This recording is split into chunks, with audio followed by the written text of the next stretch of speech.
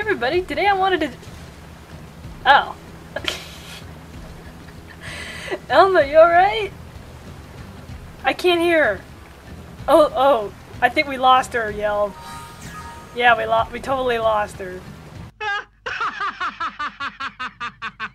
I wanted to show everybody this really interesting glitch that I found regarding the waterfall in Bestial Utopia.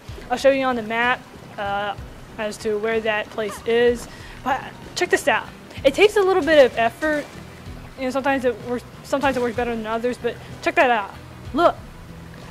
Now, whether you want to call this sloppy coding, sloppy programming, or just a glitch, that's up to you. I'm kind of more inclined to say that this is more sloppy coding uh, regarding the game developers, but it's still really interesting to look at. Uh, Elma. What is wrong with Elma today? Anyways, uh, Yelv, what Yelv, what are you doing?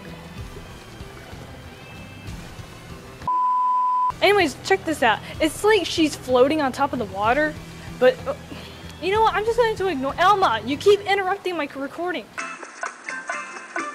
You see, it's like, even though the water is flowing downwards, she's floating as if she was on top of the water surface. You know, I'm just going to ignore that. Check this out. Okay, look. You can actually float to the top. See? Now, for some reason, you can't actually, you know, get out of the water. You're just kind of stuck there.